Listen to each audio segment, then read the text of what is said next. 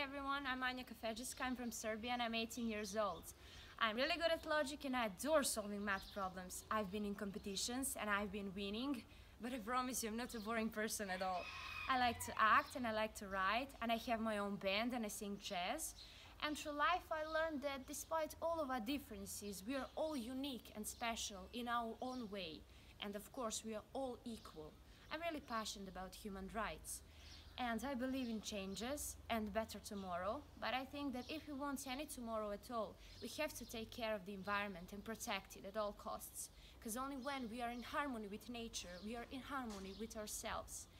And why me? Well, because I'm a capable and ambitious young woman with a lot of experience.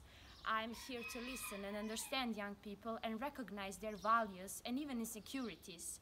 I'm here to help, and I think that the world remains youth. So give us a chance and let our voices be heard, because I promise you it's worth it.